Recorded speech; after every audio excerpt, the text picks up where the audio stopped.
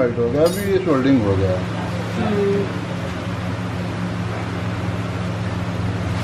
तो गया हुआ है। इसके बाद सेटिंग होगा। सेटिंग जो अंदर का तार होता है हाँ। ये सब तार लगेगा। डिज़ाइन के हिसाब से हाँ। जैसे ये डिज़ाइन के हिसाब से लगा हुआ है अंदर का हम्म। ये सब ऐसा है। अच्छा इसके अंदर अगर कुछ छोटे छोटे और डिज़ाइन लगने हैं तो वो आप फिट करोगे। उसके बाद फिर सोल्डिंग होगा। हाँ क्योंकि जो आपने। छोटे छोटे डिज़ाइन लगाए वो भी तो फिट करने होंगे। ओके फिर नहीं ये सोल्डिंग को भी तो लेवल करने के लिए फिर आप इसको पॉलिश करोगे हाँ ना? ये जो अभी तो लिखा है ना ये आपका जो पॉलिश ये पॉलिश हो जाने के बाद पूरा ये फ्लैट हो जाता है। हाँ। और थोड़ा चौड़ा भी हो जाता है। हम्म?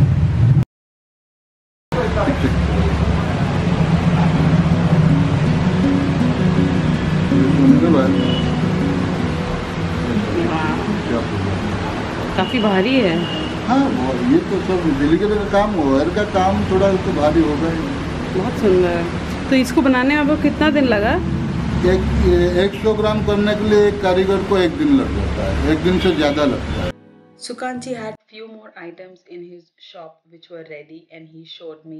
He gave me a little tour of his place also and then things got a little serious. आप कितने सालों से कर रहे हो ये काम? देखिए ग्रेजुएशन कंप्लीट मेरा हुआ 83 को। हम्म। फिर नौकरी के लिए अप्लाई किया ना 87 तक। हम्म। 87 से मैंने नौकरी नहीं हुआ। तो हम्म। फिर छोड़ दिया। हाँ, ये तो हमारा ट्रेडिशनल बिज़नेस है। मेरे फादर लोग करते थे। उसको देख देख के मेरा ड्राइंग अच्छा होता था। College hmm. में प्राइज मिलता था।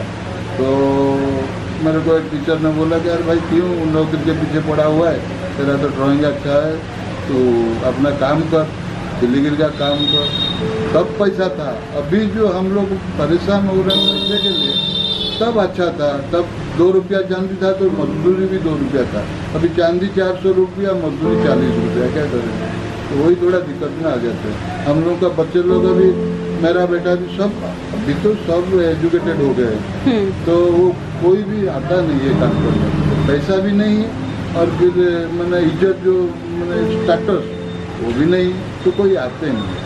हम लोग और कुछ नहीं जानते इसलिए यहाँ पर बैठे हुए तीस साल से तो आपको टेंशन नहीं है कि फिर आपके बाद ये काम कौन करेगा? हाँ, ये तो तय ये हमारा लास्ट जनरेशन इसके बाद कोई काम करने के लिए नहीं आएगा वो हिस्ट्री में रह जाएगा कटक में बिजली काम होता था। तो ऐसे फिर बाकी और दुकानों में भी सब ऐसे ही होता होगा सबके बच्चे नहीं काम करना चाहते हैं? कोई भी कोई भी काम नहीं करना चाहता।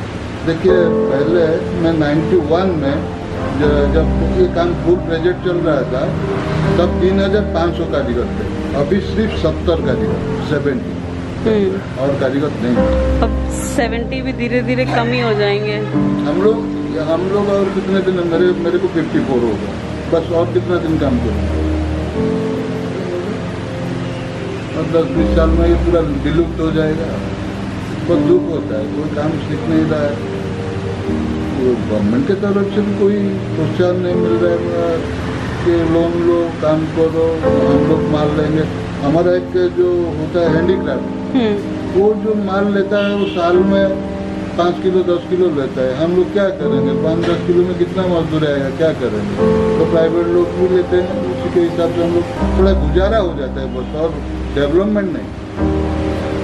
तो आप आपको क्या लगता है गवर्नमेंट को और अ, क्या करना चाहिए? गवर्नमेंट अगर हम लोग प्रोडक्शन सेंटर में हम लोग रहेंगे। हाँ। बेचने का काम गवर्नमेंट का? वो हमको रॉ मटेरियल देंगे मजदूरी देंगे तो चलेगा ये काम। अभी एक आदमी को मैं आठ हज़ार रुपया महीना देता हूँ। तो काम निकलता है हमारा सात हज़ार रुपया। कितना दिन चलाएँगे ये काम? अभी जो मजदूरी है वो बहुत बहुत कम। हम्म। चांदी के हिसाब से मजदूरी तब एक काम करने के लिए सौ ग्राम काम करेगा एक आदमी तो चार सौ रुपया उसको मिलने में बहुत तकलीफ़ हो जाता है। चार सौ रुपया नहीं मिलता। तो हम्म। क्यों करेंगे लोग काम? एक जो लेबर होता है वो भी पाँच सौ रुपया देता है। तो इस हिसाब से कोई आता नहीं है काम करने के लिए। पिछले पाँच सात सालों में इतना घट गया है कारीगर।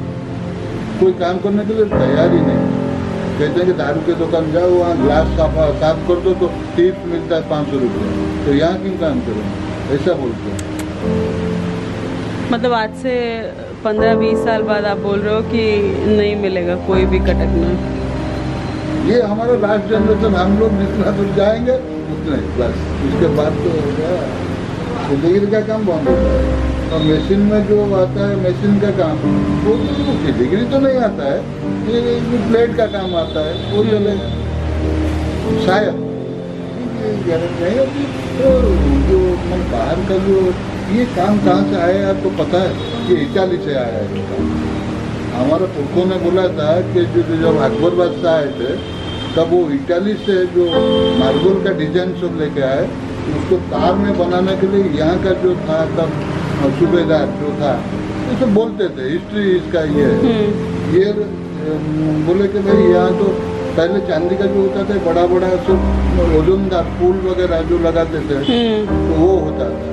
उसके बाद वो नकाशी देख के मंदिर का जो पूरी मंदिर हो कोणार्क मंदिर कोई भी मंदिर का पत्थर का डिज़ाइन देख के फिर तार में बनाया सेकेंड वर्ल्ड वॉर के टाइम में इतना माल कारीगर इतना थे जो फॉरेनर्स आए थे वो बोरी बोरी मतलब क्या बोलते हैं जो रेलगाड़ी हम्म। जैसा। तब तो ये सब गाड़ी फाड़ी नहीं था मैंने उसमें लाद के लेके जाते। मैंने इतना माल सेकंड वर्ल्ड 1945 में। ये काम इतना चला कारीगर लोगों को खाने के लिए फुर्सत नहीं। अभी फिर सत साठ सत्तर साल में ऐसा कट गया कारीगर खाने को नहीं मिलता है कारीगर क्या करें बहुत दुख होता है कभी कभी spent some more time with Sukanji and then it was time for me to leave. I hope you liked this video. If you did, make sure you share it. Maybe someone somewhere sees it and something is done to save the art. I'll see you soon in another video. Till then, bye.